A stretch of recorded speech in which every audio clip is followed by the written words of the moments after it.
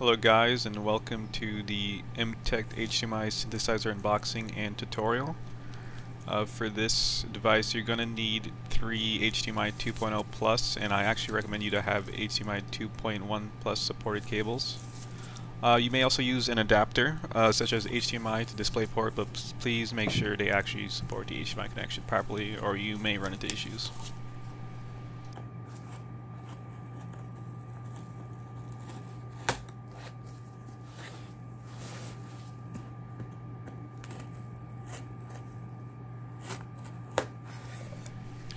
Inside the box, you're going to find the tutorial link, quality certification, the power cable, our USB-A to USB-C cable for firmware and EDID spoofing, and the Imtech synthesizer itself.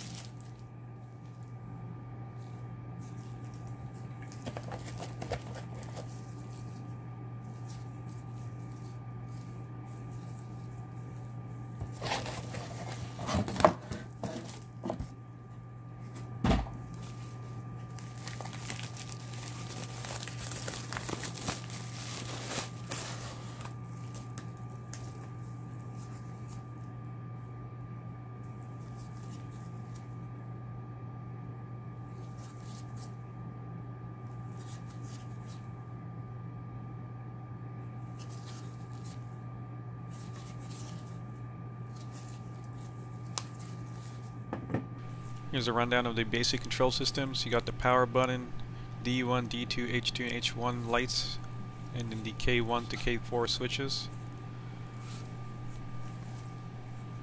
The K1 switch is for rotating between resolutions.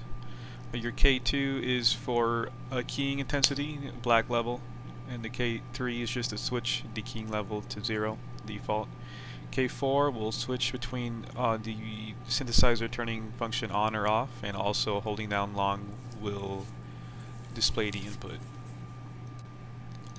In the back you have the HDMI inputs, outputs, and Type-C as well as the power connection.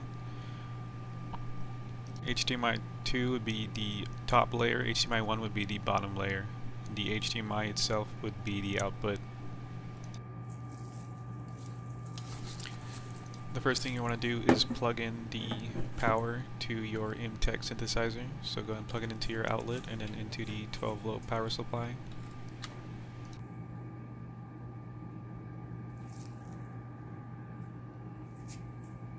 Next thing you want to do is go ahead and plug the base layer or your main PC's input to the HDMI synthesizer and then the output to your monitor. And in, for this setup, you're going to need at least two monitors.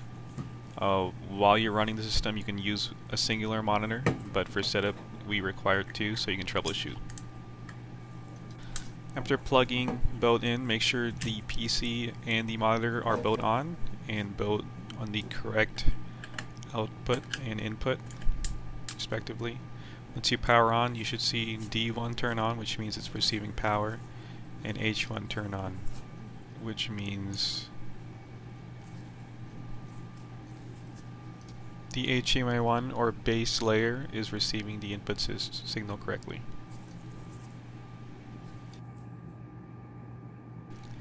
Now you're going to use the K1 button to switch to the resolution you want and we'll have a list right on the screen of what resolutions you can switch to and in order.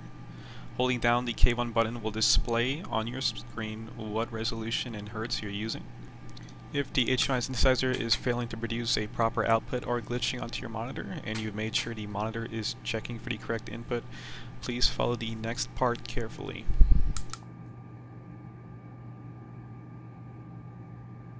On your second monitor that your PC should already be connected to, go ahead and go to the resolution settings Scroll down to Advanced Display Settings.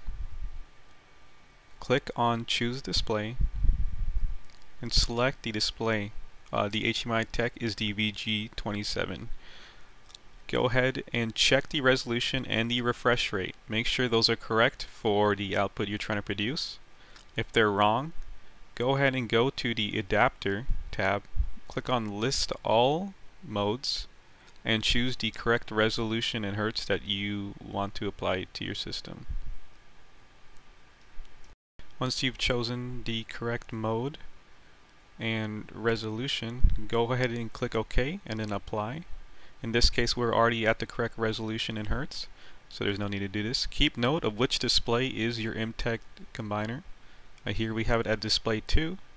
So we're going to go ahead and go back now that we've applied this and the next step you want to do is to reduce latency. You want to make the HDMI tech synthesizer your main output. So go ahead and go down after selecting the display and select make this my main display.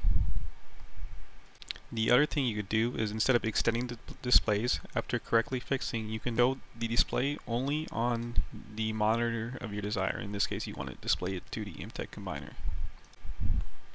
After applying the resolution and hertz changes on your PC, make sure to iterate through the K1 resolutions one more time to make sure it's applied. This should also solve any bugs that occur once you update the resolution in Hertz. When you first plug in your Imtech combiner to your display uh, the and hold down the K1 button, the resolution should default to 1920 by 1080 at 60 Hz. To change this, go ahead and hit the K1 button again until you get the output of your the resolution of your desire. After iterating through the resolutions using the K1 button and setting the hertz through the previous method we've shown before, we are now ready to go for our input 1, which is our lower layer display or the main display you're going to be using.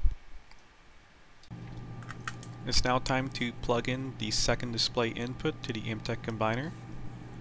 After you finished plugging in the second display input or the top layer into the Imtech synthesizer, all of the lights should be now on. D1 indicates the power light, D2 indicates the synthesizer function being on or off. If this is off, you can press the K4 button to turn it on. H2 is the HDMI input, and H1 is the HDMI 1 input.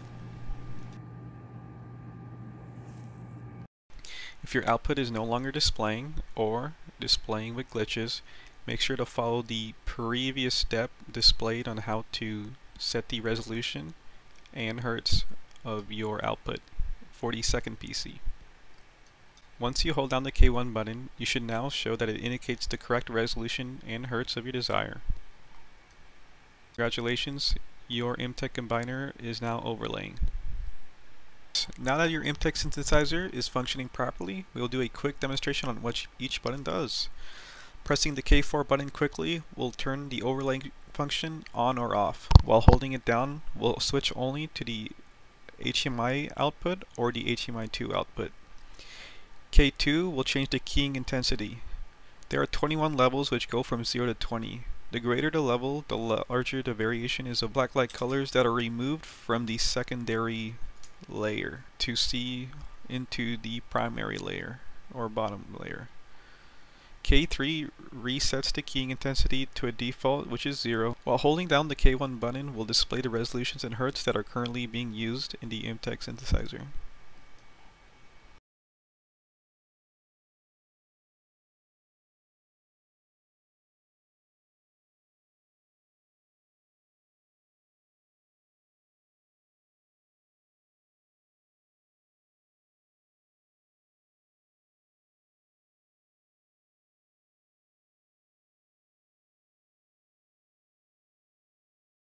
Congratulations, your Imtech synthesizer is now overlaying.